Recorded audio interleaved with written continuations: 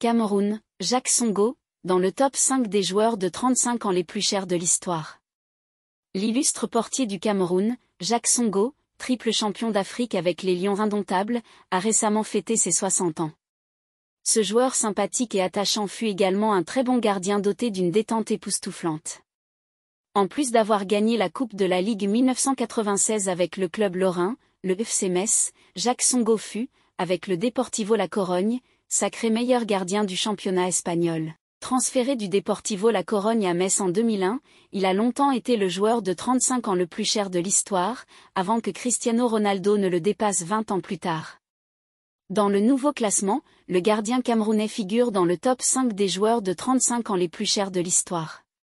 Pour plus d'actualités africaines et internationales, restez connectés grâce à l'application Mobile disponible sur l'App Store et sur le Google Play Store.